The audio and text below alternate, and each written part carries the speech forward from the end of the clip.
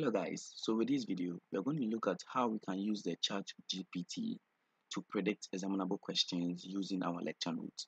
So most of the times, examination is based on our lecture notes, that's our slides, whether in PDF or PPT. So what you need um, for this um, procedure is that you need a laptop or a phone, then you need a Word, Microsoft Word. You have WPS on phone and that all and the chat GPT. Note that the chat GPT can do a lot of things. It depends on how you communicate with it. So let's go into it. So first, I'm going to use one um, slide to do example. So first, you need to open to your slide. So with this slide, um, I'm going to use um, basic geology level 100 slides to give this. So um, this is type of X waves, and I want to set a question on S waves. So what I do is now I copy um, the slide in P, um, PDF form, then I open Word and paste it here. The reason why you paste it here is that sometimes when you copy from the PDF, there's some kind of error. So you need to put it at the Word to do what? Editing. Then what you need to do is that then you copy from here. This one, there's no editing for us. So then you press Control plus C, which is copy then open to your chat gpt website or app. Listen with here how you communicate with the ai is very important.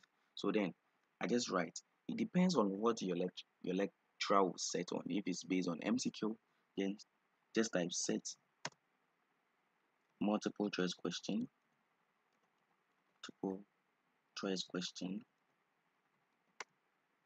on this. So on this then you press control plus v so I have posted a slide then you press enter. See this? So chat G, uh, GTP is setting the multiple choice question but this is the reason that I didn't specify the amount of or the number of multiple choice question that I wanted to do. So then I can just go back here and let me go back here and copy it. As in okay so so then I copy it and I just paste it here. So with this I'm going to write set um, 20 multiple choice. Multiple choice questions on this and I press this. So let's see what the chat gives us. So there's it. You see it is setting it for us. So when you are learning after learning the slide then you can use the chat gpt app to set your own question.